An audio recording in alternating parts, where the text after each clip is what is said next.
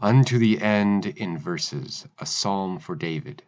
When I called upon him, the God of my justice heard me. When I was in distress, thou hast enlarged me. Have mercy on me and hear my prayer. O ye sons of men, how long will you be dull of heart? Why do you love vanity and seek after lying? Know ye also that the Lord hath made his Holy One wonderful. The Lord will hear me when I shall cry unto him. Be angry and sin not. The things you say in your hearts, be sorry for them upon your beds. Offer up the sacrifice of justice, and trust in the Lord. Many say, Who showeth us good things? The light of thy countenance, O Lord, is signed upon us. Thou hast given gladness in my heart.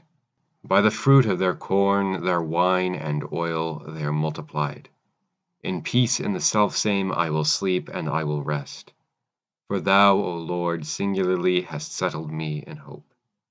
Glory be to the Father, and to the Son, and to the Holy Ghost, as it was in the beginning, is now, and ever shall be, world without end. Amen.